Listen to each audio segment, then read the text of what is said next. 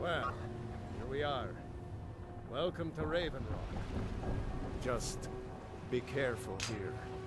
Things aren't what they used to be.